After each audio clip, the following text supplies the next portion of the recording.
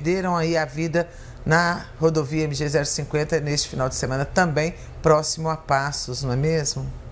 É verdade, foi ali na altura do quilômetro 364, em Passos, aconteceu a dinâmica do acidente, Roseli, foi uma ultrapassagem, o veículo Gol estava fazendo uma ultrapassagem, saiu então na outra direção e assim colidiu com o veículo Fiat Uno. Foi uma colisão frontal e os dois motoristas do Gol, um de 22 e um de 23 anos, faleceram no local, infelizmente. O Uno era conduzido por um homem de 26 anos e havia mais três pessoas. Eles foram socorridos, mas estão em estado grave, Roseli. E os outros do Gol, infelizmente, perderam a vida nesse acidente aí.